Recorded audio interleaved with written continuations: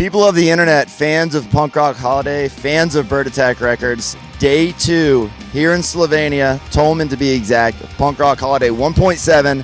Last night was killer. Stand out for us, me in particular, the clowns, they destroyed it.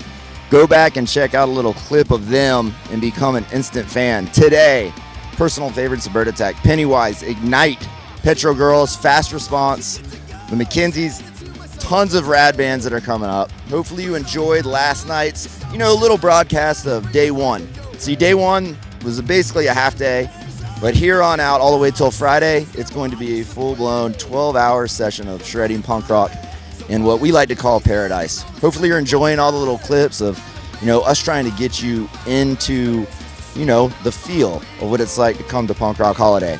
So again, we hope you're having a good time. We want to thank Orange Amplifiers for being a part of this year's broadcast, if you will. Uh, we also want to uh, remind you that tomorrow, No Trigger will be playing on the main stage, and we just released their brand new album, Adult Braces. So make sure you check that out. Anyway, don't go anywhere. Stay with us and have a good time in Punk Paradise.